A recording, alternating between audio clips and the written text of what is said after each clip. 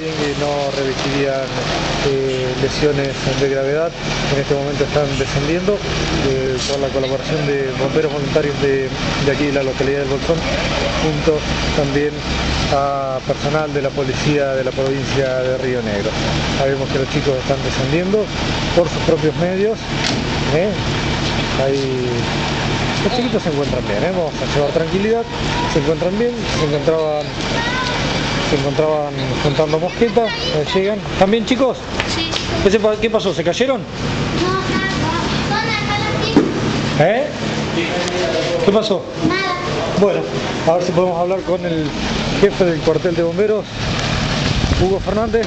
Buenas tardes, estamos en vivo para la radio.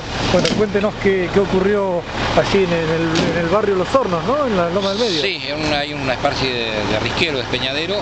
Estos chiquitos andaban juntando este, silvestres y aparentemente bajaron hasta la mitad de, una parte muy empinada, de un risquero que hay, y quedaron ahí que no podían ir para arriba ni para abajo.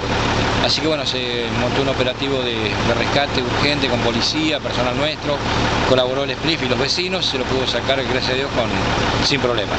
Eh, alguno de los chiquitos que tiene algún raspón, pero no, no de gran significancia. No, no, no, no, no de gran pero lo trajeron por seguridad, es lo que se acostumbra en estos casos. Bueno, Hugo, muchas gracias. No, ¿eh? nada, gracias a ustedes, hasta luego. La palabra del jefe del cuartel de bomberos, Hugo Fernández, que colaboró, colaboró perdón, en el rescate.